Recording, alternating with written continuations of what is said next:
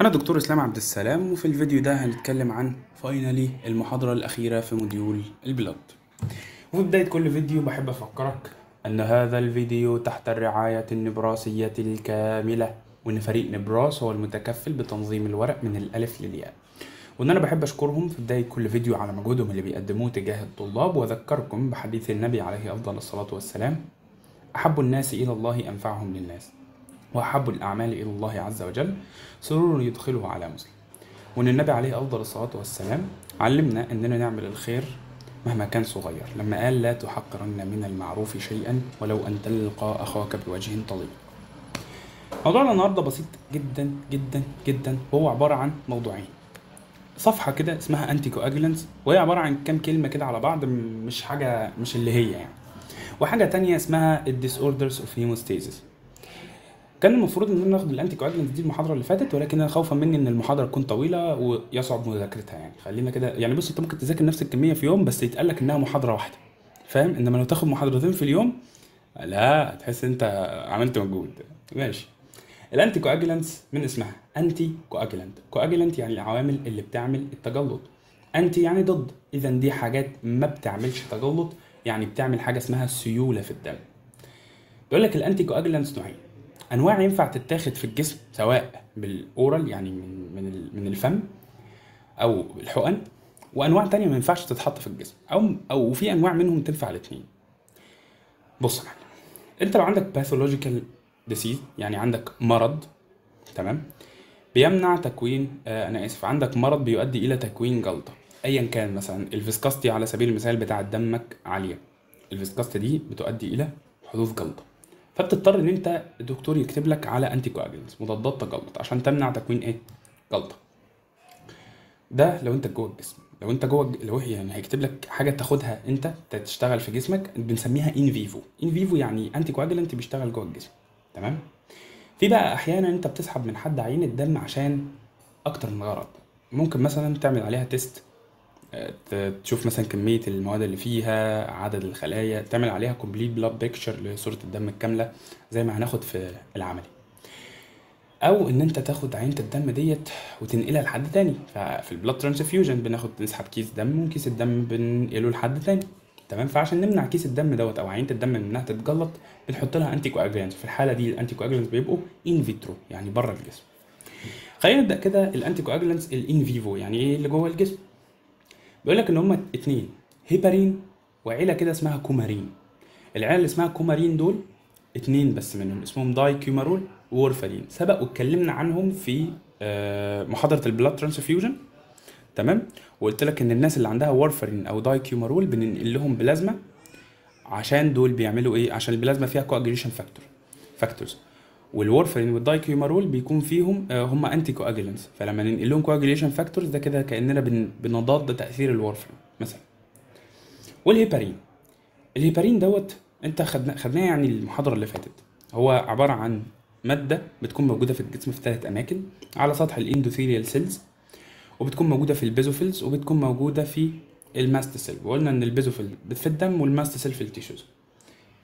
بيقول لك الهيبارين هو بيروح يحفز المادة اللي اسمها antithrombin 3 وال antithrombin 3 من اسمها بتعمل إيه؟ بتشتغل على الثرومبين تمام؟ الهيبارين دوت بيبقى injected injected يعني بيتاخد حقن. ما بيتاخدش بالفم. ليه؟ لأن هو بيشتغل في الدم. بيشتغل في الدم. على حاجة موجودة في الدم اللي هي بيئة العمل بتاعته ال antithrombin موجودة في الدم. اذا هو بيشتغل في الدم على الإيه؟ على ال antithrombin فبناخده حقن نحطه في الدم على طول. إنما الكومارين أو اللي هي ال derivatives بتاعته بقى اللي هم ال dicumarol وال warfarin دول بيشتغلوا على vitamin K بيشتغلوا على vitamin K و vitamin K مسؤول عن تصنيع أربعة coagulation factors شبه ما خدنا في آخر المحاضرة اللي فاتت. رقم اتنين ورقم سبعة ورقم تسعة ورقم عشرة. ال coagulation factors بتصنع في ال liver. إذا vitamin K بيشتغل في ال liver. إذا عشان تاخد ال anticoagulants اللي بتشتغل على vitamin K اللي بيشتغل في ال liver انت محتاج تاخدها وتحطها في الطريق اللي بيودي على ال liver على طول. ولذلك هو بيقول لك إن هما orally administrated يعني إيه؟ يعني بيتاخدوا عن طريق الفم. ليه؟ لأن أنت لما بتاخد الحاجة عن طريق الفم بتنزل في الأمعاء الأمعاء بتمتصها توديها على الفي على ال على ال liver. ولما تشتغل لما الحاجة تخرج كده من الجهاز الهضمي على ال liver فتبقى زي كأنك وجهتها لبيئة عملها مباشرة. بيقول لك إن في الواقع أنت عشان تاخد دول تأثيرهم ما بيطلعش في ساعتها. أمال إيه؟ بيقعد من 12 ل 24 ساعة عشان تشتغل. إشمعنى؟ لأن في في الواقع في في دمك coagulation factors اللي هم 2 و7 و9 و10 فأنت لما بتاخد ال warfarin وال dicoumarol بتوقف تصنيع المزيد. تمام؟ فعشان تأثيرهم يبان آه هم خلاص دخلوا وقفوا تصنيع الايه ال coagulation factors عشان تأثيرهم بقى يبدأ يبان لازم ال coagulation factors اللي هم 2 و7 و9 و10 اللي موجودين في الدم يخلصوا. لما يخلصوا الحمد لله ينزلوا بقى في أي مكان. ينزلوا في ال urine يطلعوا في أي حاجة. المهم لما يخلصوا يبدأ تأثير بقى الإيه؟ ال warfarin وال dicoumarol يبان.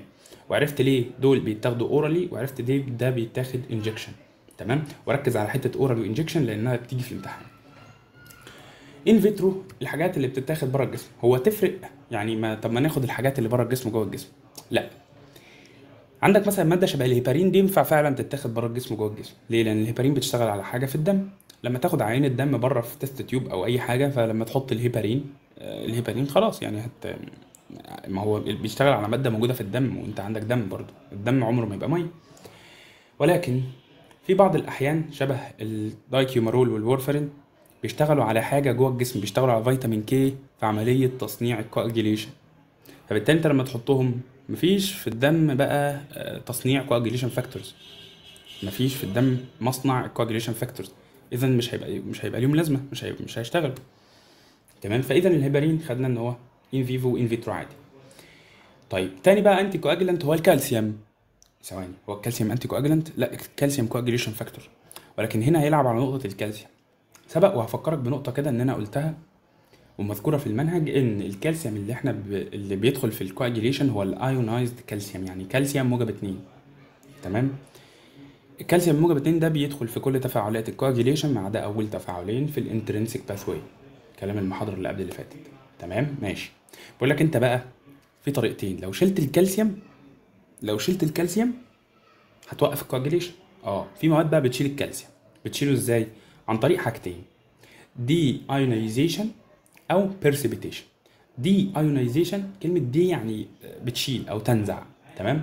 ف deionization يعني انت بتخلي الكالسيوم مش ايون تمام؟ بتخلي الكالسيوم مش موجب اتنين تمام؟ والكالسيوم اللي مش موجب اتنين الكالسيوم اللي مش ايون ما بيشتغلش في coagulation والطريقة الثانية precipitation يعني إيه precipitation يعني انت بتحوله لمادة بتترسب يعني بتحوله لمادة زي مثلا كربونات الكالسيوم على سبيل المثال يعني تمام؟ بتحوله لمادة بتترسب. مادة الكالسيوم ما بيبقاش دايب بقى في البلازما لا بيبقى مترسب كده في صورة مادة صلبة فبالتالي ما بيشتغلش في coagulation عملية ال deionization ديت اللي بتعملها مادة اسمها sodium citrate تمام؟ لفظ citrate هو الأهم من كلمة صوديوم تمام؟ عملية ال deionization اللي بتعملها مادة ال sodium citrate وعملية ال precipitation اللي بتعملها مادة مادة اسمها ال sodium oxalate بتتحول إيه؟ تحول الكالسيوم لمادة بتترسب. طيب نحفظها إزاي عشان ما تتلخبطش بينهم؟ بص precipitation ما بتعملهاش ال citrate العكس ها؟ precipitation مش مع ال citrate deionization ما بتتعملش بال oxalate تمام؟ ماشي. بص بقى. لما تعمل precipitation للكالسيوم الكالسيوم بيتحول لصورة صلبة صورة مترسبه في العينة. الصورة دي لو كانت في الدم بتاع جسمك الصورة دي لو كانت في الدم بتاع جسمك كانت ال- الحاجة المادة المترسبه ديت هترسب في ال tissues كل ما الدم يتحرك المادة دي هتترسب في الإيه؟ في ال tissues لأنها مش دايبة في البلازما. تمام؟ ولذلك بيقول لك على ال sodium oxalate دي toxic تقول لي ثواني يا سولم وأنت بتستعبط. أقول لك لا والله ما بستعبطش. أمال إيه؟ أمال أنت مش أنت قلت الحاجات دي إحنا بنستخدمها in vitro يعني بره ال- الجسم؟ قلت لك آه بس أحيانا ال in vitro دوت بتستخدمه في ال blood transfusion يعني أنت بتاخد عينة الدم وتحط عليها ال anticoagulant عشان أنت هتنقلها لحد تاني. فمش عايزها تتجلط قبل ما تنقلها لحد تاني. تمام؟ طيب في الحالة دي انت هتودي الدم لحد تاني هل هتوديهوله وفي مادة مترسبة جواه هتموته؟ لا. فاذا ينصح بان انت لو تستخدم العينة ديت لل blood transfusion ما تستخدمش ال sodium oxalate ليه؟ لأنها toxic على عكس الثانية ال sodium citrate إنها إيه؟ مش toxic طيب. ندخل في الجزء اللي بعده ألا وهو ال disorders of hemostasis سمري كده اللي قلناه حتى الآن in vitro in vivo ال in vivo اتنين heparin و dicoumarol و warfarin تمام؟ ال in vivo أنا آسف. ال in vitro 3 heparin citrate oxalate. وأنت عرفت ال oxalate عشان فيها X فهي toxic ماشي. Disorders of hemostasis. بقول لك إيه؟ إن في بعض الأحيان عملية ال hemostasis بتحصل بشكل خاطئ. إما أو إما إيه؟ إما تحصل بشكل خاطئ بإنها ما تحصلش وقت ما نعوزها وإما تحصل بشكل خاطئ بأنها تحصل بشكل أكبر من اللي إحنا محتاجينه أو تحصل في وقت إحنا مش محتاجينها يعني إيه؟ يعني إما أنت تتعور وما تعملش جلطة واما أنت ما تتعورش وجسمك يقعد يعمل جلطة. لما تتعور وجسمك ما يكونش جلطة لما يكون في عندك مرض بيمنع عملية تكوين الجلطة بشكل طبيعي ساعتها بنقول عندك bleeding disorder أنت بتنزف ومفيش جلطة. ولكن لما جسمك يكون undesirable جلطة حلوة undesirable جلطة دي. لما جسمك يكون جلطة بدون داعي ساعتها بنقول عندك thromboembolic disorder لو وقعها على الودن حلوة كده thromboembolic thromboem thromboem بوم بوم بوم ما علينا. ال bleeding disorder أربعة. ماشي. idiopathic thrombocytopenic purpura و liver disease vitamin K deficiency وحاجة كده أخيرة. بص معايا. مين اللي بيعمل الجلطة؟ اتنين. ال platelets اللي هي خلية الجلطة ومين؟ و coagulation factors اذا اذا اذا اذا لو عندك مشكلة في ال platelets ناقصة مثلا ساعتها بنسميها thrombocytopenia thrombo يعني جلطة cyte يعني الخلية اللي بتعمل الجلطة. pen يعني قليل. لأن thrombocytopenia لو أنت عندك مشكلة في ال platelets وعددها قليل. لو عندك مشكلة في الطرف الآخر ألا وهو coagulation factors فهيكون حاجة من اتنين. يا إما أنت عندك مشكلة في الكبد اللي بيصنعهم في ال liver عندك liver disease يا إما أنت عندك مشكلة جينية أنت أخدها أصلا وارثها من حد من أبوك أو أمك. تمام؟ وساعتها بنقول إن أنت عندك إيه؟ آه, آه genetic disease تمام؟ فالمشكلة في ال coagulation بتكون في coagulation factors بتكون يا إما genetic يا إما في ال liver. ومشكلة في ال platelets بتكون بتكون في العدد. فناخد كده أول مرض اسمه idiopathic thrombocytopenic purpura ال mechanism بتاعه الا وهو autoimmune reaction ثواني إحنا سبقنا حتة كده. هو اسم المرض معناه إيه؟ إحنا من اسم المرض هنستنتج سببه. idiopathic يعني مرض مجهول السبب مجهول المن... مجهول المصدر يعني. ما تعرفش ليه ال autoimmune reaction بيحصل. إيه هو ال autoimmune reaction ال autoimmune reaction معناه إن في antibodies بتقتل ال platelets antibodies بتكسر ال platelets الجسم بيصنع antibodies بتكسر ال platelets تمام؟ ف idiopathic هو بيقول لك ما نعرفش سبب الايه؟ سبب ال antibodies دي بتصنع ليه. thrombocytopenic يعني يتميز بنقص عدد الايه؟ ال platelets purpura هي النقط دي. ال purpura هي النقط ديت النقط الحمراء اللي تحت الجلد دي. طيب بيقول لك إيه؟ المرض ده بيتميز بنقص ال platelets ال platelets ال normal range بتاعها من 150 ألف ل 400 ألف. من 150 ألف خلية كل cubic millimeter ل 400 ألف خلية. بيقول لك إن المرض ده لما عدد ال platelets مش بس يقل عن ال normal range لأ ده يقل خالص وينزل في الأرض لحد ما يوصل ل 50 ألف خلية كل cubic millimeter. ودي حاجة قليلة جدا جدا جدا جدا جدا. ساعتها نقول على الراجل دوت إن هو عنده idiopathic thrombocytopenic purpura وعلى فكرة هتشوف له اختصار كده في الكلام يعني ITP عشان بس لما تشوفه ما ما تتهزش يعني. ال manifestation يعني الأعراض. بيقول لك إيه؟ إن ال capillaries الصغيرة من أبسط trauma بتتقطع. من أبسط trauma بتتقطع. من أبسط trauma بتتقطع. لما كانت ال platelet بصحتها كانت بتصلح القطع ده وأنت ما بتلاحظوش أساسا. ولا يعني بن بنحطه في بالنا. يعني دي حتة capillary. ولكن مع نقصان ال platelets بسبب المرض دوت بتخلي إن أبسط حاجة ممكن تقطع ال capillaries بل وإن ال capillaries ممكن تتقطع بلا سبب. ده بيؤدي إلى حدوث نزيف كده تحت الجلد لأن ال capillaries دي بتكون في الجلد وفي الأنسجة وفي كل حتة يعني. بيؤدي إلى حدوث نزيف تحت الجلد. النزيف اللي تحت الجلد دوت بيظهر كده على الجلد بشكل بقع لونها أحمر أو بنفسجي. طبعا بيكون بنفسجي يعني أحمر كده مخفف عشان لون الجلد يعني. تمام؟ مش هتفرق اللون مش هيجي يقول لك purple ولا ولا, ولا حمرا يعني. بس بيكون نقط كده دم أو نزيف تحت الجلد بيبان على شكل إيه؟ نقط. النقط دي بيسموها purpura تمام؟ تمام. قول لي هو ال blood vessel الكبير هيتقطع لوحده؟ ال blood vessel الكبير هيتقطع لوحده ولا الحاجات الصغيرة الضعيفة اللي ما بتستحملش؟ لا الحاجات الصغيرة الضعيفة اللي ما بتستحملش. تمام؟ ولذلك إن دي بتحصل في الإيه؟ في ال small capillaries تمام؟ مش ال large vessels تمام؟ عشان يظهر لك المنظر ده فبيسبب بي- بيكون بسبب قطع في ال small capillaries تمام؟ تعال نقرأ. Platelets are especially important for repair of mi- minute breaks يعني الجروح الصغيرة in capillaries and other small vessels. طب ما هي هي اللي فصلناها أصلا. طيب وبالتالي أغلب الحاجات اللي بتشارك فيها ال platelet كعنصر كده أساسي زي ال clot retraction هيحصل لها إيه؟ إنها هيحصل لها impaired هتبقى impaired خلاص مش هت... مش هتشتغل زي ما كانت بتشتغل في الطبيعي. ال clot retraction تعالى أفكرك إن هو كان عبارة عن إن ال platelets بيدخل لها الكالسيوم فيعمل انقباض في ال actin وال myosin اللي جواها. فتنقبض وتن... وتنقبض معاها الجلطة. ماشي. ال investigation يعني إيه؟ يعني إزاي بتعرف إن الراجل ده فعلا بتتأكد بقى إن هو عنده اي تي بي اي تي بي انت بتعمله تحليل اسمه ال bleeding time هناخده بالتفصيل في العملي. ال bleeding time دوت هو انك بتجيب صبع الراجل تشكه شكة صغيرة. هو مين اللي مسؤول عن إغلاق الشكة الصغيرة؟ ال platelets فبالتالي لو الراجل دوت فضل ينزف كتير ده معناه إن ال platelets فيها مشكلة. ال bleeding time بيكون normally من 2 ل 5 فلو الراجل ده ال bleeding time بتاعه طلع أعلى من 2 ل 5 أعلى من 5 يعني ساعتها نقول إن الراجل ده عنده مشكلة في الإيه؟ في ال platelets. طب علاجه إيه إن أنت تنقل له دم؟ whole blood أو تنقل له platelets بس مش أكتر لأنه عنده deficiency في ال platelets. طبعا ده العلاج النظري يعني. يعني المرض العلاج الوحيد ليه هو إيقاف السبب. فلو افترض أنت نقلت له platelets مرض ما ال platelets دي ليها عمر افتراضي وهتروح. هتفضل كل شوية تجيب الراجل وتنقل له دم؟ لا. فعلاج المرض بيكون بإن أنت توقف سبب المرض الأول وبعدين تبدأ تعالج الضرر اللي هو سببه. ندخل في اللي بعده ألا وهو ال liver function بص هنا إحنا عايزين نختصر الكلام خالص. أي مرض في ال liver هيؤدي إلى إيه؟ نقصان في ال coagulation factors تمام؟ فهنا جاي بيقول لك بيديك مثال على مرض ال liver cirrhosis عنده تليف كبدي يعني ال liver هو مصنع ال coagulation factors زيها زي أي plasma protein فبالتالي المرض اللي بيجي في ال liver هيأثر على تصنيعه لل plasma proteins هيأثر على تصنيعه لل coagulation factors فهيؤدي إلى bleeding disorder يعني راجل بينزف بلا داعي.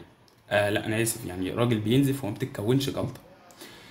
vitamin K deficiency ال vitamin K بيدخل في تصنيع coagulation factors 2794 ال 2794 دول لو عندك vitamin K deficiency مش هيتكونوا مش هيكونوا موجودين بكثرة في الدم. فبالتالي هيؤدي إلى إن الراجل لما يعوز يكون جلطة يلاقي صعوبة ويلاقي الموارد مش موجودة ال coagulation factors مش موجودة فبالتالي يكون تكوين الجلطة صعب فيفضل ينزف نقول عنده bleeding disorder بيقول لك بص جسمك تلقائي بال intestinal bacteria ديت بيصنع آه بيصنع coagulation آه بيصنع vitamin K ولذلك كون إن أنت بتاكلش أكل فيه vitamin K ده مش هيأثر قوي يعني. أمال إيه بقى المشكلة؟ المشكلة بتحصل لما انت عشان يعني عشان ينقص vitamin K في جسمك فيا إما انت قتلت البكتيريا اللي بتصنعه يا إما انت البكتيريا زي ما هي ولكن ولكن منعت امتصاصه. بقت البكتيريا تصنع vitamin K في الأمعاء والأمعاء ما تمتصش vitamin K تمام؟ البكتيريا زيها زي أي كائن حي. لما بتاخد له antibiotic لما تاخد له antibiotic systemic antibiotic ال systemic antibiotic دوت بيقتل الكائنات الحية زي البكتيريا. تمام؟ طبعا بيكون له فوائد وبيكون له أضرار. لو حد يعني اخذ مضاد حيوي فطبعا ليه فوائد وليه أضرار. تمام؟ فبيقول لك الأطفال بقى بيتعرضوا إن هم ياخدوا antibiotics بشكل كبير بيقضي على ال intestinal flora أو ال intestinal bacteria اللي بتصنع ال vitamin K فال intestinal bacteria دي لما بتموت ما بتصنعش vitamin K فتؤدي إلى vitamin K deficiency في حال آخر تعال أقول لك ال vitamin K زيه زي أي فيتامين بينتمي لمجموعة كده. مين مجموعة كده؟ مجموعة كده هم أربعة vitamins عبارة عن fat soluble vitamins يعني vitamins بيتكونوا من دهون بيتكونوا من fats ال fat لما بيدخل لما إحنا بناكل حاجة فيها دهون أو كده وتدخل الأمعاء بتاعتنا بتعتمد على ال bile إن هو يمتصها. مين ال bile ده؟ في الكبد تحتيه حاجة اسمها المرارة. المرارة دي بتفرز بت... بتمد ضغط كده اسمها ال bile duct بتمدها جوه الأمعاء. ال bile duct ديت بتخلي المرارة تفرز ال bile بتاعتها العصارة بتاعتها جوه الإيه؟ جوه الأمعاء. ليه بقى؟ لأن العصارة بتاعتها ال bile ديت بتساعد في امتصاص الدهون هي المسؤولة عن امتصاص الدهون. أحيانا بيحصل bile duct obstruction يعني إيه؟ يعني ال bile duct تتسد يحصل فيها obstruction فال bile ما يدخلش جوه الإيه؟ الأمعاء. ف vitamin K ال intestinal bacteria فرزته ما يمتصش فبالتالي يبقى عندك vitamin K deficiency علاجها إيه؟ هات أي حاجة فيها vitamin K وأكله. يا راجل طب ما هتدخل برضو الأمعاء وما تمتصش لأن ال bile duct مسدودة. اذا علاجه بإنك ترمي له vitamin K في الدم على طول عن طريق الحقن في ال injections. ترمي له vitamin K في الدم الكبد لما توصل له لما يوصل له ال vitamin K يبدأ يستخدمه في تصنيع الإيه؟ ال coagulation factors رابع مرض ألا وهو ال hemophilia. ال hemophilia نوعين. hemophilia A و hemophilia B. حسب إيه؟ بص. ال hemophilia hem يعني دم. وأحيانا بتيجي بمعنى نزيف. philia يعني بي بيحب فاهم؟ اللي هو عنده ميول يعني. تمام؟ فبيقول لك هيموفيليا يعني عنده ميول إن هو ينزف. تمام؟ تمام. زي كلمة bleeding disorder كده بالظبط. الهيموفيليا نوعين. classic hemophilia اللي هي hemophilia A و hemophilia B. classic hemophilia دي بتيجي 85% من البشر لا. 85% من الناس اللي عندها هيموفيليا بيكون عندهم ال hemophilia A دي. يعني لو البشر 100 مليون مثلا ومثلا مثلا ها مثلا آه، مليون منهم جاله آه، هيموفيليا فهيبقى 850 ألف. 850 ألف عندهم hemophilia A و15 ألف عندهم hemophilia B. مالها الهيموفيليا قالك الهيموفيليا دي هي نقصان ل factor رقم 8 في حال لو كانت hemophilia A وفي حال لو كانت hemophilia B فدي بتكون فقدان آه، نقصان ل factor رقم 9 عشان تحفظها وما تتلخبطش ف 8 8 8 عاملة إزاي؟ 8 عاملة شبه حرف ال A كده بالظبط. اهي 8 8 فهي شبه حرف ال A ماشي. المهم يعني. طيب ليه يجي لي hemophilia A أو hemophilia B بيقول لك بص تعالى مبدئيا الهيموفيليا دي مرض وراثي. ماشي؟ ماشي. بيكون X-linked الكلام ده غير مفسر في الكتاب لكن تعالى نفسره كده على جنب ونرجع. X-linked يعني يقول لك إيه؟ بص. الجين المسؤول أنت عارف إن البروتينات بتاعتنا من ال biochemistry بقى بتتصنع عن طريق جينات. فبيقول لك إن الجين المسؤول عن تصنيع factor رقم 8 و factor رقم 9 بيكون موجود على ال X chromosome. ثانية واحدة. مين ال X chromosome؟ هقول لك أنا. فاكر chapter ال cell؟ كنا خدنا فيه الطرز الكروموسومي اللي هو ال chromosomes فرز الكروموسومات. آخر زوج من ال chromosomes كان اسمهم الكروموسومات الجنسية. بيقول لك بقى إيه الكروموسومات الجنسية دي؟ لو أنت راجل لا لا، لو أنت ذكر لو أنت مش مش قصدي حاجة والله. لو أنت ذكر بيكون XY بيكون عندك كروموسوم اسمه X و chromosome X اسمه Y. لكن لو أنت لو أنت بنت بيكون عندك chromosome X و chromosome X بيكون عندك الاثنين X. فبيقول لك إيه بقى؟ إن الجين اللي بيصنع factor رقم 8 والجين اللي بيصنع factor رقم 9 بيكون موجود على ال chromosome X بس. يعني بيكون على موجود على ده أو موجود على ده أو موجود على ده. لو أنت عندك هيموفيليا ده معناه إن ال chromosome X بتاعك ما فيهوش الجين اللي بيصنع factor رقم 8 في حالة لو كانت hemophilia A؟ و factor رقم 8 factor factor factor رقم 9 في حالة لو كانت hemophilia B. طيب هتلاقيه بيقول لك إيه؟ إن المرض ده بيجي primarily in males. Exclusively in males. يعني المرض ده منتشر في الرجالة كتير جدا جدا جدا عن ما هو منتشر في الستات. ليه؟ لأن الراجل بيكون عنده فرصة إن هو يجيله المرض ده. ليه بقى؟ بص لو عنده ال X هو عنده chromosome X واحد. فلو chromosome X دوت فيه غلط في الجين بتاع factor رقم 8 أو الجين بتاع factor رقم 9 فخلاص. خلاص مش هيقدر يصنعه. ليه؟ ما عندوش غير ال chromosome X بس واحد بس. لكن على عكس الست لو الجين ده لو الجين دوت في مشكلة في مشكلة في الجي آه، لو أنا آسف لو الكروموسوم دوت في مشكلة في factor رقم 8 أو factor رقم 9 خلاص ما عندها واحد تاني يصنع مكانه. فهمت؟ عشان كده المرض ده لما بيجي في الرجالة بينتشر أكتر من الستات. تعال أفرق لك كده بين لفظين هتشوفهم في الأسئلة. آه، بين كلمة carrier ومريض يعني patient of hemophilia and carrier of hemophilia. بص carrier ده يعني حامل المرض. يعني إيه حامل المرض؟ يعني هو عنده المشكلة في الجينات بتاعته ولكن الأعراض مش بتظهر عليه. الراجل ما ينفعش يبقى carrier. ليه؟ لأن هو عند لو عنده مشكلة في ال chromosome X فهيصنع إيه، فيتامين آه، يصنع factor 8 و factor 9 منين؟ مش هيصنعهم. فبالتالي هيبقى مريض. ليه؟ عنده كروموسوم واحد فقط. ما ينفعش يبقى carrier. هو عنده المرض فعلا. يعني عنده المشكلة في الجينات فعنده المرض. أول ما يبقى عنده مشكلة في الجينات بتظهر عليه الأمراض على طول. تمام؟ ولكن الست ممكن تبقى carrier وممكن أحيانا في حالات نادرة تبقى مريضة. إمتى بقى؟ تبقى carrier لو هي عندها الجين آه، في مشكلة في الكروموسوم واحد بس من ال X يعني عندها كروموسومين X. فلو واحد فيهم فيه مشكلة في الجين فالتاني يبقى شغال. ساعتها نقول الست دي carrier يعني إيه؟ يعني الجين بتاعها الكروموسوم بتاعها عنده مشكلة في الجين بتاع factor 8 أو factor 9 تمام؟ تمام. ولكن الأعراض مش ظاهرة عليها. ليه؟ لأن الكروموسوم الثاني بيقدم غرض بيقدم مكان الكروموسوم الأولاني.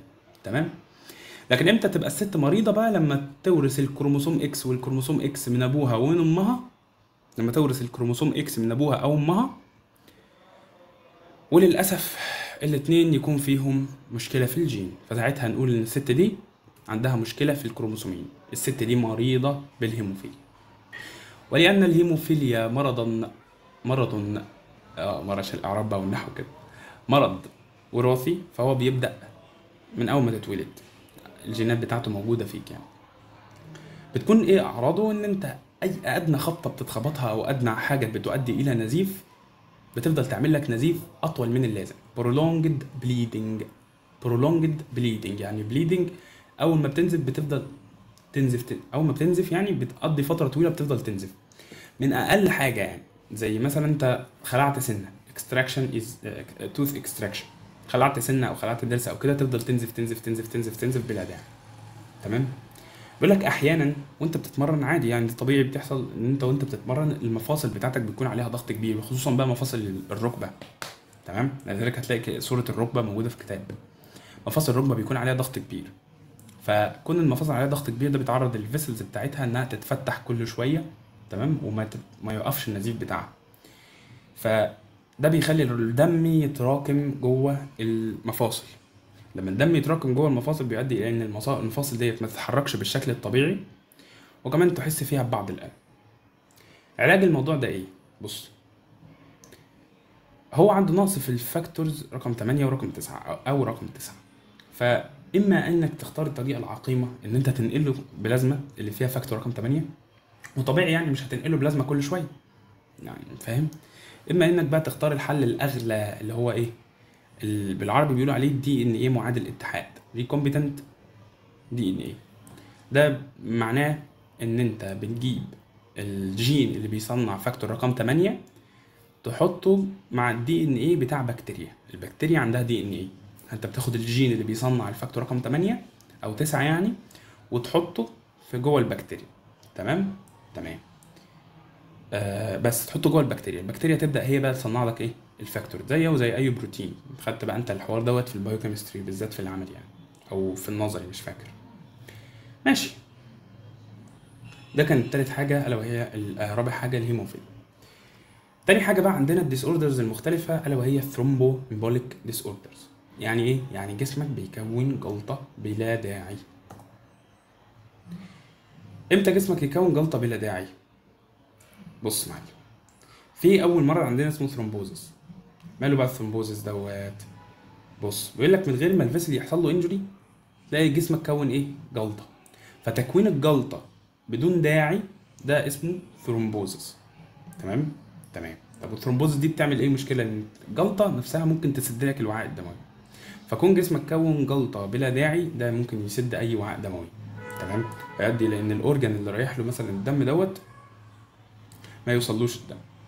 طب بتحصل إمتى؟ ال thrombosis ديت بيقول لك لما ال blood flow بتاعك يبقى sluggish يعني إيه sluggish يعني sluggish دي معناها بص ركود. يعني إيه ركود؟ ركود يعني الدم بيتحرك ببطء.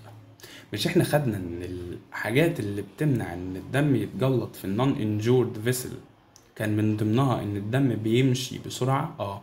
ليه؟ عشان ما بيسمحش لل coagulation factors إنها تتلامس. لما coagulation factor تتلامس هت activate بعضها وتبدأ إنها تعمل إيه؟ جلطة. فلو أنت عندك الدم ماشي بطيء ده بيسمح إن ال coagulation factors تلامس بعضها وتتراكم فوق بعضها فتؤدي إلى تكوين جلطة. بتحصل إمتى بقى ال sluggish blood flow دوت؟ خدناها قبل كده. شفنا كلمة sluggish قبل كده إمتى؟ لما اتكلمنا عن ال viscosity. قلت لك إن ال viscosity لما بتزيد هتخلي ال circulation إيه؟ sluggish يعني إيه sluggish يعني الدم يمشي ببطء. تمام؟ قلت لك إن ال viscosity هي صعوبة الحركة. تمام؟ واتكلمنا على فكرة عليها تاني في ال blood transfusion تمام؟ لما خدنا blood transfusion disorders لما خدنا آه ال mismatched blood transfusion وخدنا الأعراض بتاعته كان من ضمنها إن لما إن أحيانا ال- ال- المواد ديت بتخلي ال circulation عن راكده يعني بطيئة ماشية ببطء فبتؤدي إلى إيه؟ إلى إن تصيبك بجلطات. تمام؟ زي الحالة اللي اسمها thrombosis بص يا معلم. الوعاء الدموي ثلاث طبقات. بص ثلاث طبقات حلوين كده اهوت تمام؟ معلش ده وعاء دموي على القد يعني. طبقة اسمها intima تمام؟ اللي هي من جوه وطبقة بره شوية اسمها الميديا وطبقة بره أكتر اسمها ال adventitia تمام؟ في حاجة اسمها atherosclerosis atherosclerosis atherosclerosis يعني تصلب الشرايين. sclerosis يعني حاجة صلبة كده يعني تمام؟ ال atherosclerosis ده بيكون عبارة عن إن الدهون بتتجمع كده في ال intima بدون الدخول في التفاصيل. طبعا هو حاجة أعمق من كده شوية. بس عبارة عن إن الدهون بتتجمع في ال intima بتخليها صلبة كده. تمام؟ فالجزء الصال الصلب من ال intima دوت بسبب ال atherosclerosis بنسميه atherosclerotic plaque ال atherosclerosis أو تصلب الشرايين ده بيؤدي إلى تكوين جلطة. ليه؟ لأن الجزء زي ما قلت لك بيبقى صلب. وإحنا متعودين ال blood vessel يبقى ناعم وسموث كده من جوه عشان إيه؟ ما يؤديش إلى تكوين جلطة. تمام؟ تمام. يبقى دي thrombosis بتحصل بسبب إيه؟ sluggish blood flow أو ال atherosclerotic plaques تاني حاجة ال embolism من هي ال embolism ال embolism ببساطة خالص بيقولوا عليها ال emboli الج- الجمع بتاع ال embolism هي جزء يعني الجلطة كده اللي هي ال thrombus اتكونت. الجزء بقى جزء كده اتكسر من الجلطة وبيسرح. جزء اتكسر من الجلطة وبيسرح. يبقى ال embolism هي عبارة عن إيه؟ أدي ال thrombus اهيت تمام؟ هات بقى جزء كده اتكسر منها تمام؟ شايف الجزء دوت؟ عمال بقى بيجري في الدم تمام؟ أحيانا بتحصل في ال veins اللي في, في, في الرجل يعني ال veins اللي بتبقى موجودة في الرجل بيحصل فيها جلطة تمام؟ thrombus يعني. ال thrombus دي بيتكسر منها حتة وتمشي ويبقى اسمها embolism يعني ال embolism دي بقى بتستقر فين؟ في حاجة اسمها ال pulmonary artery تعالى كده أقول لك. القلب أربع حجرات. القلب أربع حجرات تمام؟ ماشي. ال veins بتروح تصب فين؟ في الحجرة اللي فوق على اليمين اللي هي اسمها right atrium لما ال veins تصب فيها ال veins بقى طبعا اللي جاية من الرجل واللي جاية من فوق واللي جاية من تحت تمام؟ كل ال veins بتصب فين؟ في ال right atrium ال right atrium ده بينزل الدم على الايه؟ على البطين الأيمن اللي هو ال right ventricle تمام؟ تمام ده كده الاذين الأيمن ده كده البطين الأيمن. لما الدم ينزل على ال right ventricle ال right ventricle طبعا القلب 3D مش مش مش عبارة عن مربع فاهم؟ عبارة عن right ventricle. ال right ventricle دوت بيطلع الدم للرئة تمام؟ عن طريق إيه؟ عن طريق حاجة اسمها ال pulmonary artery تمام؟ الدم اللي بيجي من الفينز بيدخل للرايت اتريوم الرايت اتريوم بيوديه للرايت فنتريكل والرايت فنتريكل بيطلعه عن طريق ال pulmonary arteries لمين؟ للرئة تمام؟ فهو ده ال pulmonary artery لما الجلطة أو ال embolism تيجي من ال veins بتاعه الرجل تدخل على ال right atrium وتطلع من ال right atrium على ال pulmonary artery ساعتها تقف في ال pulmonary artery ونسميها بقى ساعتها إيه؟ pulmonary embolism. ال pulmonary artery pulmonary يعني تنفسي يعني عشان ال artery اللي رايح للرئة. تمام؟ فساعتها نسميها إيه؟ pulmonary embolism. تمام؟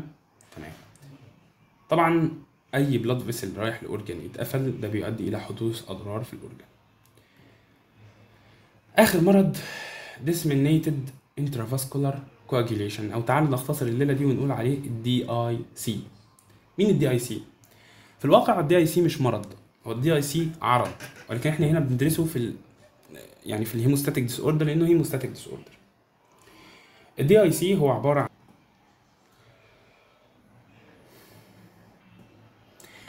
ال DIC بيجي من عدة حاجات بتؤدي إلى حدوث ال DIC، إيه هو ال DIC بس؟ ال DIC هو إن جسمك ما عندوش لا platelets ولا coagulation factors، جسمك شطب عليهم، طب شطب عليهم ليه؟ أصلك البيبي يعمل جلطات على الفاضي، طب هو البيبي يعمل جلطات على الفاضي ليه؟ عشان عنده septicemia، يعني إيه؟ يعني انتشار لل infection في الدم، الانتشار بتاع ال infection في الدم دوت بيخلي ال endothelium مش ناعم وده في حد ذاته بيكون إيه؟ جلطة. قالك لو واحد عنده excessive extensive tissue injury يعني يعني الراجل دوت مثلا على سبيل المثال متعور في كل حتة في جسمه أو ال tissues اللي جواه عمالة بتتعور. كل ده بيؤدي إلى تكوين جلطات وبيستهلك ال coagulation factor factors وال platelets تمام؟ أو أي حاجة تانية بتؤدي إلى إن الفايبرين تكوين الفايبرين يعني ال fibrin deposited in the vascular system قصده يقول لك تكوين جلطة في الوعاء الدموي تمام؟ تمام. طب إيه بقى اللي بيحصل؟ كل دي حاجات بتؤدي إلى استهلاك ال coagulation factors على الفاضي. تمام؟ لما تستهلك ال coagulation factors على الفاضي لما تتعب فعلا أو لما ال vessel بتاعك يتفتح أو لما تصاب يحصل لك injury مش هتعمل جلطه ليه؟ استهلكت أنت ال coagulation factors تمام؟ ولذلك بتتميز بإيه بقى؟ بحاجة اسمها bleeding الله الله الله الله الله, الله. يعني ال DIC عبارة عن إيه؟ عبارة عن إيه؟ بيحصل bleeding ال DIC عبارة عن إن بيحصل bleeding طب ده مش كده؟ المفروض نقول إن هو bleeding disorder والله هو المفروض يعني. بس إحنا بقى نقول هنا إن إيه؟ إن الحاجات اللي فوق ديت بتؤدي إلى ال DIC تمام؟ فلما نقول الحاجات اللي فوق اللي بتؤدي إلى ال DIC هي حاجات بتعمل جلطات على الفاضي. تمام؟ فإذا إحنا بنعمل جلطة على الفاضي. يعني عايز يقول لك إن ال DIC ده واحد بيعمل جلطة على الفاضي. تمام؟ فيعني ماشي هو بيبقى عنده bleeding عادي. يعني بي- بينزف شخص اللي هو استهلك ال coagulation factors بتاعته. فنتيجة ال DIC ممكن نقول ال bleeding ده نتيجة ال DIC مش هو ال DIC ال bleeding ده نتيجة ال DIC تمام؟ إن هو استهلك ال coagulation factors اللي عنده. فأدى إلى إيه؟ إن الدم بتاعه ال- الوعاء الدموي بتاعه لما بيتفتح ما عندوش حاجة ما عندوش coagulation factors إيه؟ تجلطه. تمام؟ تمام. ولا platelets حتى ال mechanism بتاعه يعني إيه ال mechanism؟